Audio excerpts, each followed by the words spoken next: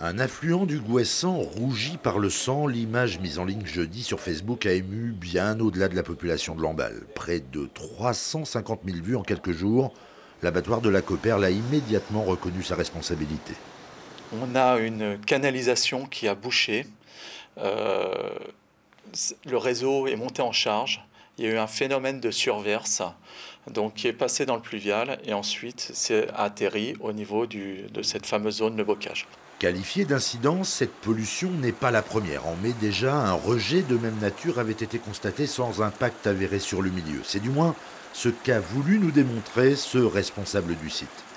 Avec très peu de quantité de sang aujourd'hui, donc quelques millilitres, on va colorer très fortement une eau, euh, donc un litre d'eau, parce que le sang est un produit très très très soluble.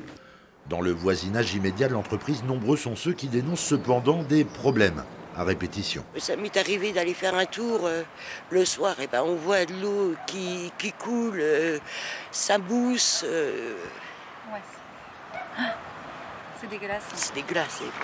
De son côté, le maire de Lamballe veut calmer les passions et semble avoir obtenu des garanties de l'abattoir pour que ce type de désagrément ne se reproduise plus à l'avenir. Le risque zéro, c'est dur dans des conditions où effectivement on a une pression à la fois du milieu et à la fois de l'économie ou de l'industrie. À la population, je dis nous avons besoin de l'agroalimentaire, mais nous devons faire attention aux conséquences que ça a. Et aux entreprises, je dis nous avons besoin des entreprises, mais attention aussi à ce que ça veut dire pour l'environnement des gens.